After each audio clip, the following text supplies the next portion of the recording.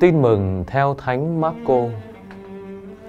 Trong lúc giảng dạy, Đức Giêsu nói rằng: Anh em phải coi chừng những ông kinh sư ưa dạo quanh, súng xính trong bộ áo thụng, thích được người ta chào hỏi ở những nơi công cộng.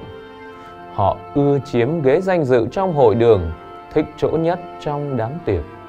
Họ nốt hết tài sản của các bà quá, lại còn làm bộ đọc kinh cầu nguyện lâu giờ những người ấy sẽ bị kết án nghiêm khắc hơn.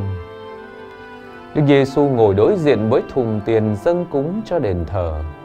Người quan sát xem đám đông bỏ tiền vào đó ra sao. Có lắm người giàu bỏ thật nhiều tiền. Cũng có một bà quá nghèo đến bỏ vào đó hai đồng tiền kẽm, trị giá một phần tư đồng xu Roma. Đức Giêsu liền gọi các môn đệ lại và nói: Thầy bảo thật anh em, bà quá nghèo này đã bỏ vào thùng nhiều hơn ai hết. Quả vậy, mọi người đều rút tiền dư bạc thừa của họ mà đem bỏ vào đó. Còn bà này thì rút từ cái túng thiếu của mình mà bỏ vào đó tất cả tài sản, tất cả những gì bà có để nuôi sống mình. Những việc nhỏ Thánh Teresa hài đồng Giêsu dù chỉ sống vỏn vẹn 24 năm trên trần gian và chỉ 9 năm sống âm thầm trong dòng cát minh, nhưng đã trở thành một vị thánh vĩ đại trong hàng các thánh. Ngài vĩ đại đến độ ngay sau khi qua đời, danh tiếng Ngài đã vang lừng khắp thế giới và một phong trào những người muốn đi theo con đường của Ngài đã lan rộng khắp nơi. Vậy điều gì đã khiến Teresa trở nên vĩ đại như thế?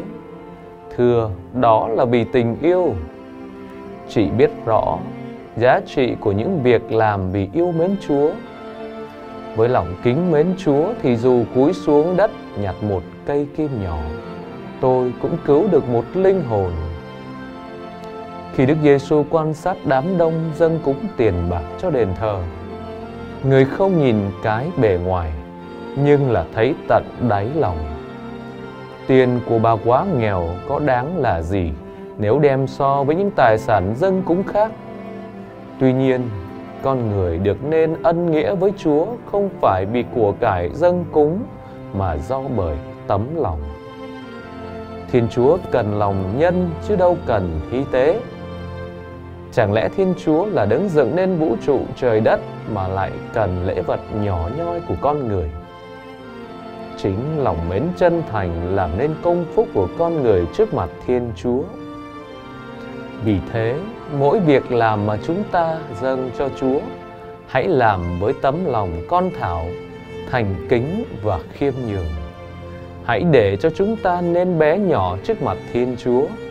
Hãy nhìn nhận thân phận phàm nhân tội lỗi và thừa nhận chúng ta cần được Chúa xót thương. Lạy Chúa, xin dạy con biết cố gắng hoàn thành những công việc hàng ngày với tình yêu lớn dành cho Chúa và cho tha nhân. Amen.